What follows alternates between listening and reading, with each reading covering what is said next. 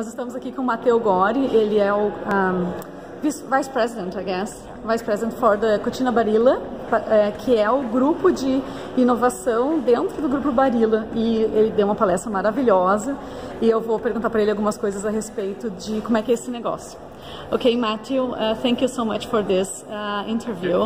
And uh, first of all, I would like to ask you, why did you choose Italy as the head start for the Cucina Barilla business? Such a difficult, I guess, market, very traditional and at some points conservative with its very um, preoccupied with its food. Right. Why Italy? Okay. Well, you're right. I mean, uh, it was a decision that seemed kind of counterintuitive because Italy has a lot of traditions. Italy is not very open to e-commerce, and you remember that Cucina Barilla has is built as a business model on e-commerce. But uh, we did a few things combined. First of all, we ran some market research.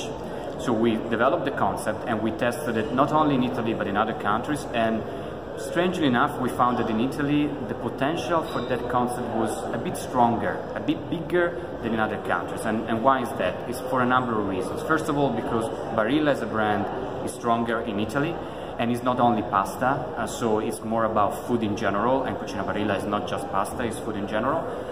Then we probably realized that um, this smart convenience trend is probably not very well uh, captured in Italy. Maybe it's a bit more captured. The space is already occupied somewhere else a bit more. And then, of course, we had the final decision, which is more the managerial side of it, which is when you try something so disruptive and so far away from your core business, you should try it at home first.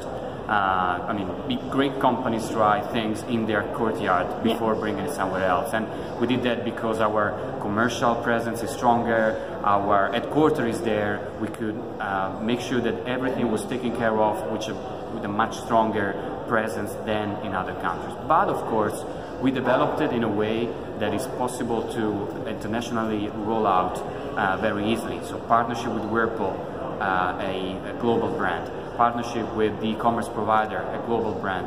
Even our uh, courier is DHL, it's a global brand. So we try to choose things uh, that make will make our life easy the day that we decide to bring it out uh, somewhere else. I was wondering if fail fast was part of the decision, because if you have a difficult market and then you can see what parts of the business are not doing so well or as expected in a more difficult market than, than in a more, uh, I guess, uh, open market to those kind of innovations? It, there is probably that too, um, and there's also the fact that Cucina Barilla, as Barilla in general, is about Italian food.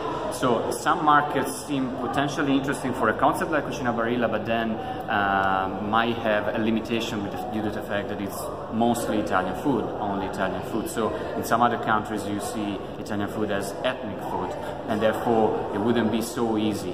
Um, but I agree with you. I mean, we also wanted the hardest test uh, to make sure that if we pass that, then other countries and other cities could, to a certain extent, be easier.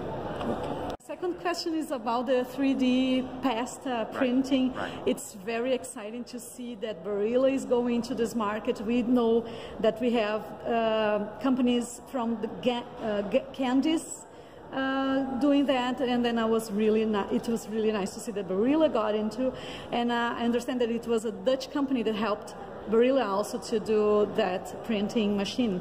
And uh, is Cucina Barilla involved in, on that whatsoever or not? How is that handled? Okay, so uh, let's say that Cucina Barilla and the pasta, the 3D printing pasta, uh, came out from the same sort of team and from the same sort of spirit. So yesterday during the presentation I described this innovation team which was set up let's say halfway between pure R&D and pure business, right in the middle of that.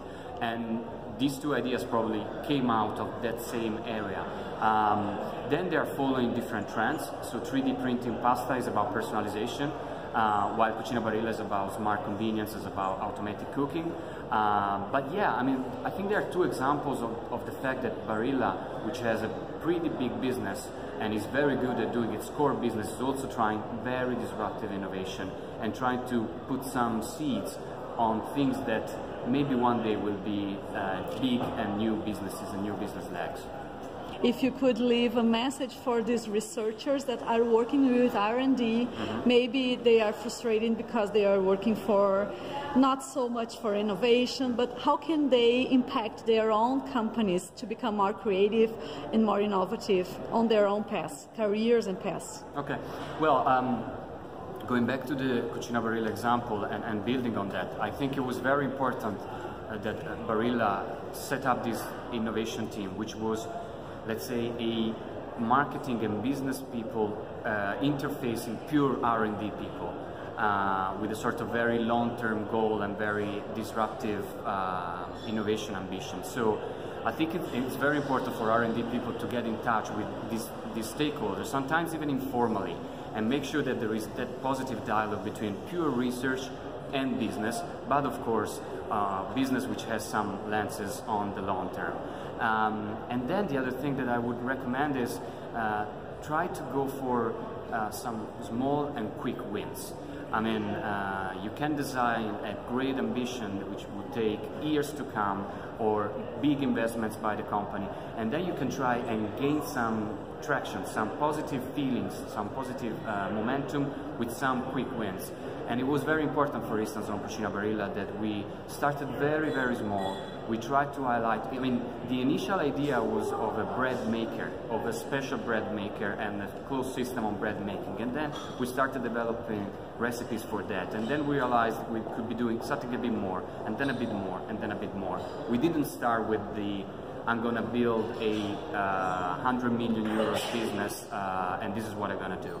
So start small and as I said yesterday, I think this applies to R&D people but applies to everybody in business these days, uh, the Alvin Toffler quotation. So be ready to learn, unlearn and relearn. I mean, when you're going for a completely unknown path, uh, there's no playbook. So you gotta be very, very agile and always adjust to what customers and consumers are telling you. Okay, thank you so much. Thank this you. is such a good piece of advice. And uh, we in Brazil are willing and are hoping that Cucina Barilla arrives in Brazil as well. Okay, okay. fingers crossed. Okay, good.